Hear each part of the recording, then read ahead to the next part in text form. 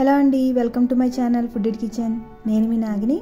ఈరోజు మీకు ఒక కొత్త రెసిపీ చేసి చూపించబోతున్నానండి. అదేంటంటే ఆనియన్ బజ్జీ అనమాట మనం ఉల్లిపాయతో జనరల్గా పకోడీ వేసుకుంటాం కదండి ఎక్కువ. కానీ ఒకసారి ఇలాగా కొత్తగా ఉల్లిపాయతో బజ్జీ వేసి చూడండి. చాలా బాగుంటుందండి.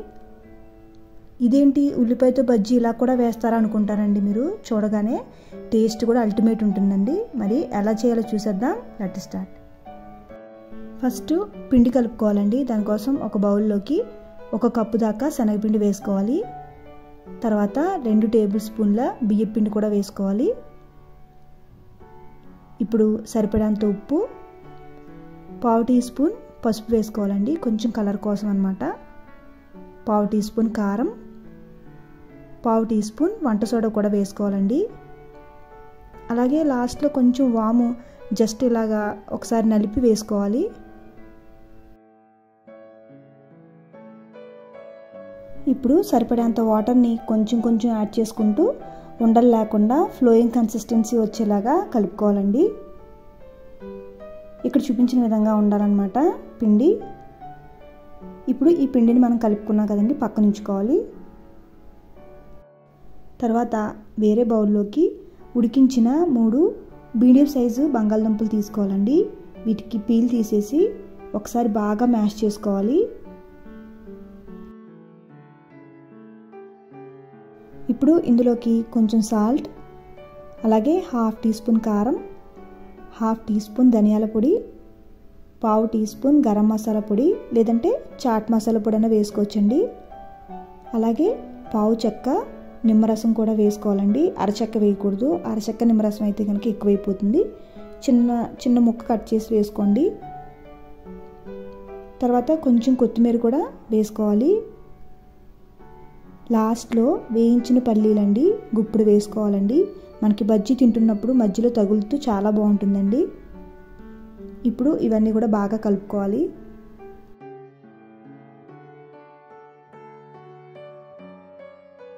ఇప్పుడు మీడియం సైజు ఉల్లిపాయలు మూడు తీసుకున్నానండి.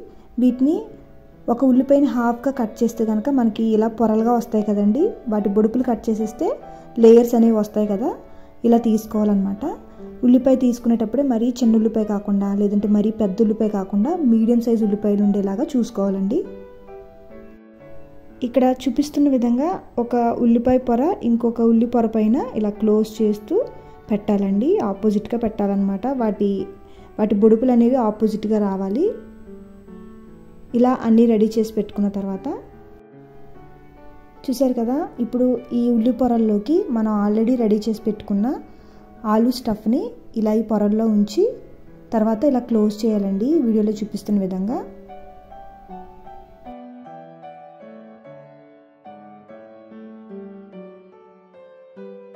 మళ్ళీ ఇంకొకటి పెట్టి చూపిస్తానండి.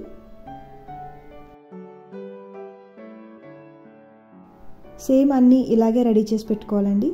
చాలా ఈజీ అండి. ఎవరైనా చేయగలుగుతారు. ఇప్పుడు నెక్స్ట్ ఆయిల్ వేడైన తర్వాత ఈ ఉల్లిపాయని పిండిలో ముంచి ఆయిల్లో వేయాలండి. సేమ్ మనం మిరపకాయ బజ్జీ ఎలా వేసుకుంటామో అంతేనండి సేమ్.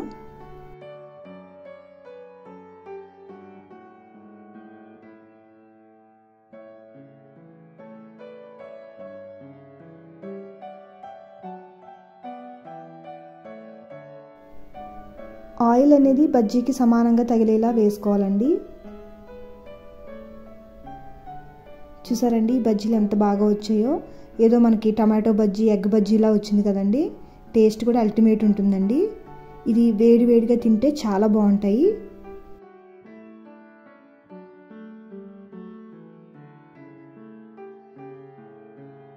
ఈ మిగిలిన పిండిలో మనం ఉల్లిపాయల్ని కట్ చేసేటప్పుడు ఉంటాయి కదండి మిగిలినవి.